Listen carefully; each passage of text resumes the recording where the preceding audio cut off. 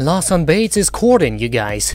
The 28-year-old reality star confirmed this week that he has a girlfriend who will probably end up being his wife and it's all very good and exciting and unexpected, unless your name happens to be Jana Duggar.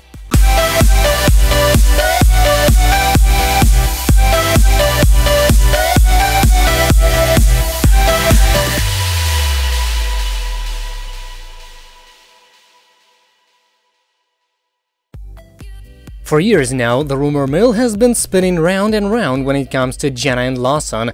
The two have known each other since they were kids, their families are tied, and let's face it, both are ancient in the eyes of their loved ones when it comes to being single. Heck, most Duggar women are married off by their parents before they are even of legal voting age. But Jana is 31 years old.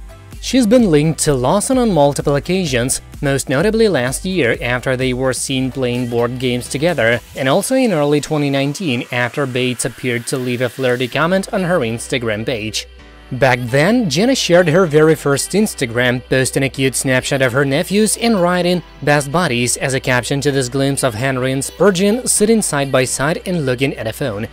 So tech-savvy, Bates wrote with the phone and zany face emojis. See what we mean here. Despite this remark and despite all the speculation you may have read about Duggar and Bates, there's no love connection here, especially not now. Especially not after Bates went Instagram official with Tiffany Espensen.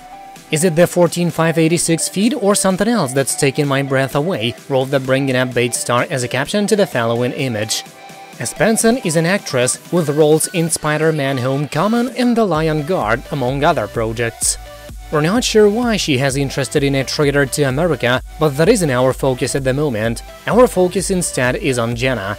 Is she now doomed to grow old without a man by her side? A few months after she turned 30, Duggar revealed she wanted to find her special someone and longed to be married. She's trying to remain hopeful, but it can be a challenge. One day I think that will come, but I think I'm just also trying to stay busy with whatever comes along my path, Jana once said, later adding to People magazine that she's sort of desperate at this point. No, she didn't use this exact word. However, I used to be a little more strict, she said last fall, adding, I felt like I just want to find someone that would either move to Arkansas or is already from here, but I think as time has gone on, I found I do love to travel more than I thought I did.